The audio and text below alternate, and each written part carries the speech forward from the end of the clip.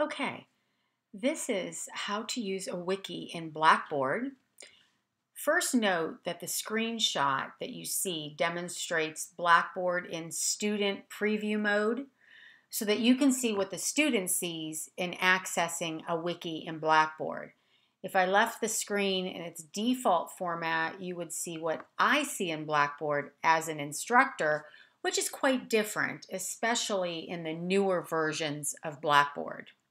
So, a wiki is an online tool that allows participants to contribute to content remotely.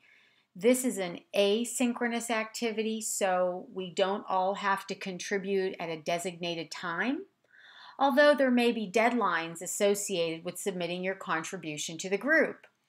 There are many ways to use a wiki, but for our purposes, we're going to use it for basic collaboration. I will use a wiki when I want to highlight an area in your lessons that I feel requires some additional attention. This is also a great opportunity to practice using wikis as an online tool for collaboration. I will alert you of a wiki in the daily announcements. You should then go to that wiki in Blackboard. You will see that I have added a menu item, Wikis, in the course menu in Blackboard. When you go to the wiki page, you will see the title of each wiki in blue. We can then click on the title of the wiki that we want to review, or to the right of each title, you will see a small gray box with an open arrow down or scroll button. Select that button and scroll down to Open. Once you've opened the wiki, the instructions and content for that wiki will appear for your review. To the right of that wiki, you will see a panel showing the other contributors to the wiki. At this point, you can select Create Wiki Page found at the top left screen of the instruction box.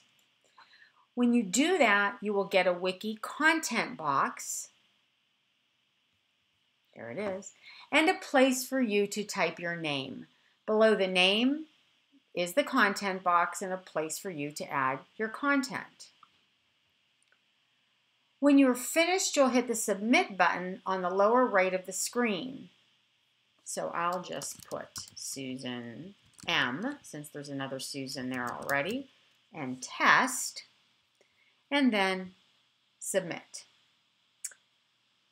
Once you've submitted, you will see your content added to the original wiki. A menu bar on the right appears to identify the contributors for each essay or access.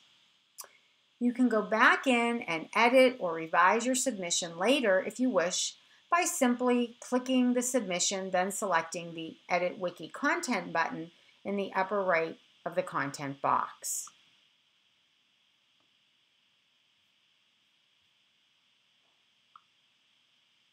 Okay.